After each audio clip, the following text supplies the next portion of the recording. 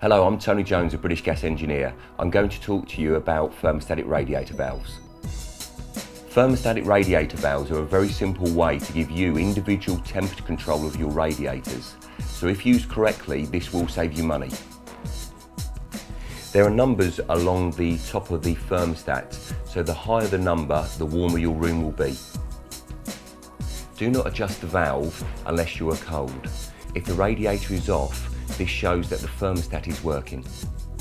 As the thermostat is temperature sensitive, do not cover it in any way, such as curtains, as this will affect the operation of the radiator and the thermostat. For more information, check out our website.